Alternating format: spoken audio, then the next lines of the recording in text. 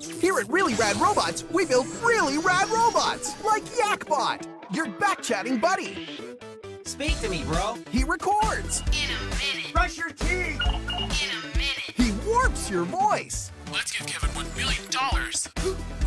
He's got all the answers. Yakbot, will I make the team? Affirmative, dude. He entertains. Whoever smelt it, dealt it. Yakbot, hardwired for fun from Really Rad Robots, each sold separately.